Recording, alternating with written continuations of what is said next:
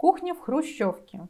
Но обычно это комната где-то по размеру не превышающая 5-6 квадратных метров.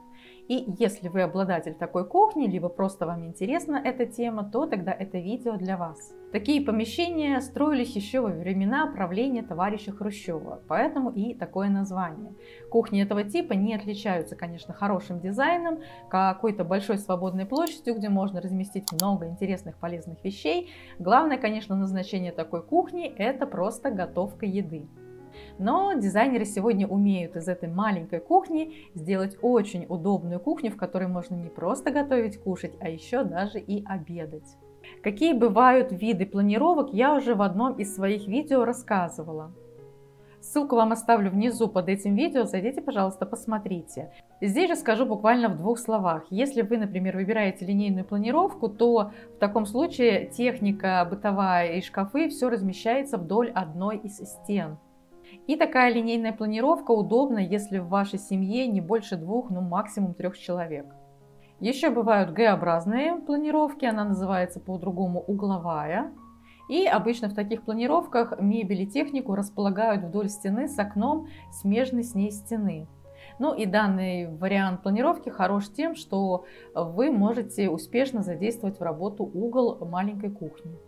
И в такой угол, например, можно оборудовать мойку, под которой расположен напольный шкаф, э, может быть, какой-то скошенной геометрии сделать. Угловая планировка удобна для хозяина, так как сокращает ненужное перемещение по кухне. Все практически у вас будет находиться под рукой и хорошо подходит для квадратной формы кухни.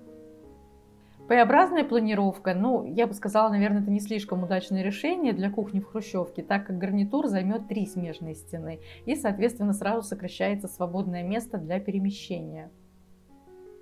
Такая кухня сразу будет как визуально казаться тесной, так и в практике это будет очень тесно, и у вас, в принципе, не останется свободного места даже для обеденного стола. Хорошо, конечно, маленькие кухни в хрущевках делать в минималистическом стиле и использовать такие материалы, как стекло, металлические поверхности разные, идеально которые подчеркнут выбранный дизайн и при этом они не утяжеляют, как правило, маленькую кухню. Для того, чтобы визуально ваша кухня казалась больше, вы можете воспользоваться, например, стеклянными дверцами на фасаде, либо, например, столешницу можно сделать стеклянную. Если вы любите натуральное дерево, то, конечно, выбирайте светлые расцветки, будет смотреться благородно и роскошно. Пусть ваш дом, дорогие друзья, будет уютным. С вами была я, Ксения. До новых встреч!